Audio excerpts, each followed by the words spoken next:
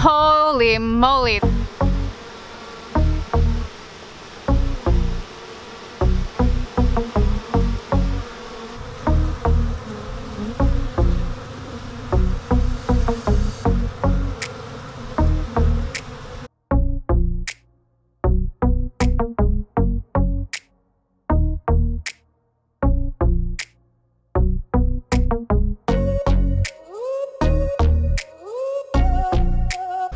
Guys, Kaylee here and welcome back to the Honeystead. It is March and guess what? Spring's coming. And since the majority of our bees survived the winter, there's a few things that I need to do to prepare myself for what's to come. One of the things that I need to worry about, and we'll probably be doing this this week, I'm just waiting for the temperature to be about 60 degrees to actually get into my colonies and start splitting them and creating nucs from all of those. There's something else that I can do that doesn't involve me opening up our colonies and exposing them to the cold and the wind. Today's about 50 degrees, so I don't necessarily want to open them up, but I know that there's stuff that I could be doing to help just in case, and one of those is swarm traps. So we're gonna set up some swarm traps today using some old comb and a few of our nuc boxes.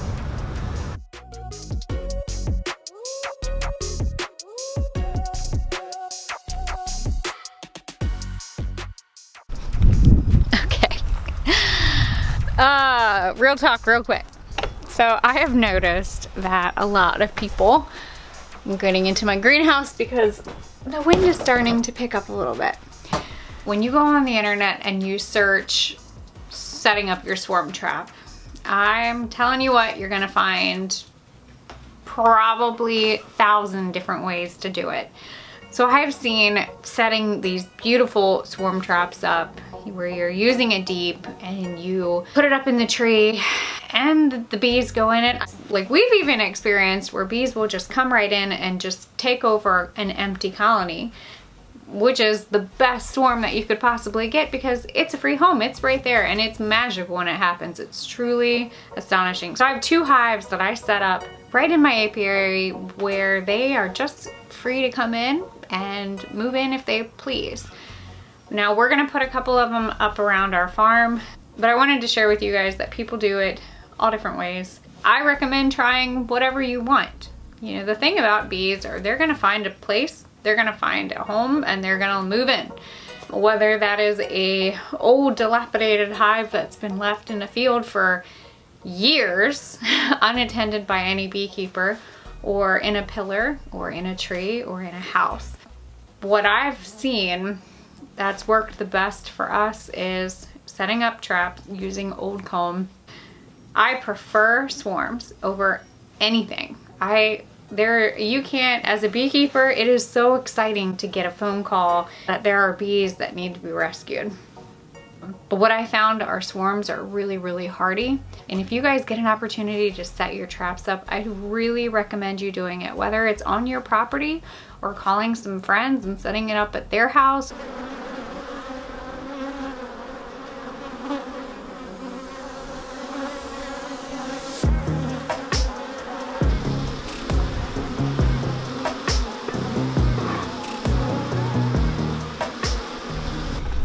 What I like to do is I like to fill up our boxes, our nuc boxes that we're gonna use as swarm traps with old comb. Uh, older the better.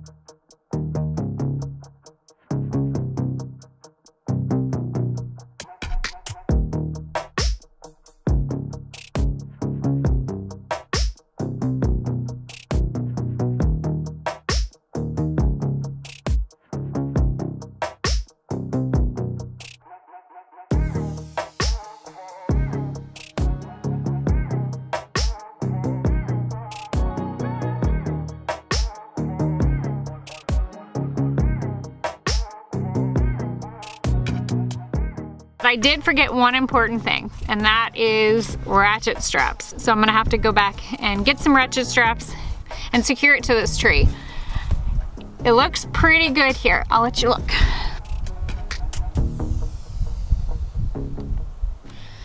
So that is, I have one, two, three, four, five. Couple more to go. Let's do it.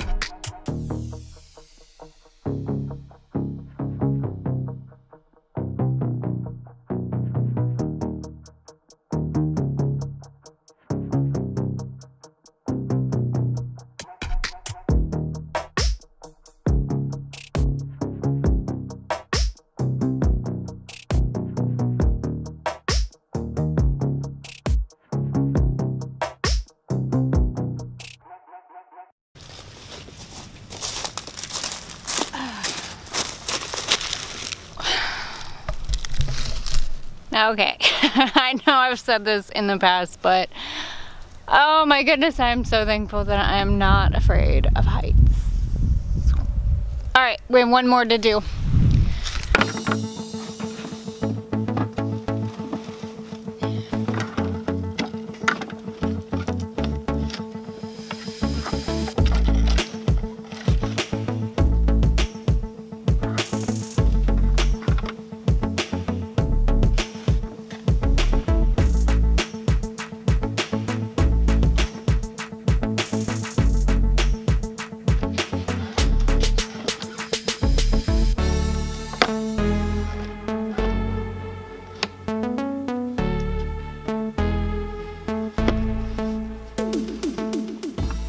This one I wanted to do something just a little bit different.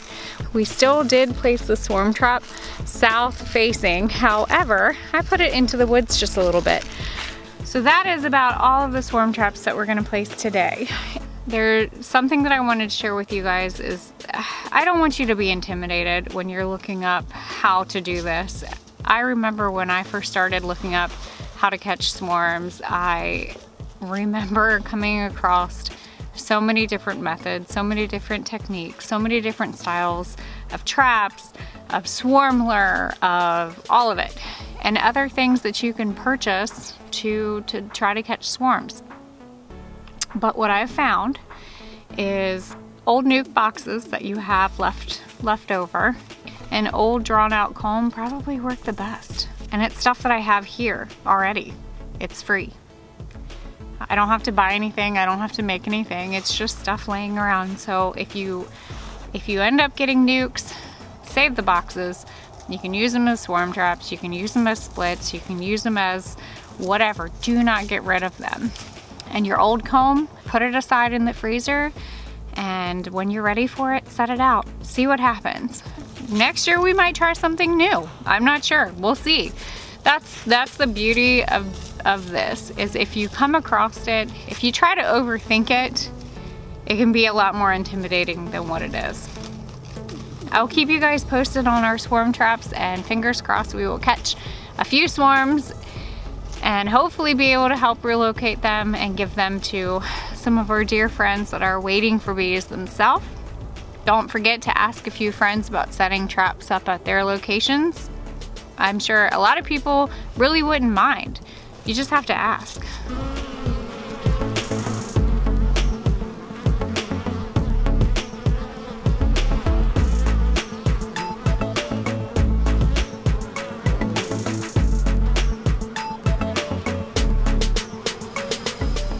Thank you guys for watching and as always, don't be afraid to get your hands dirty and learn something old.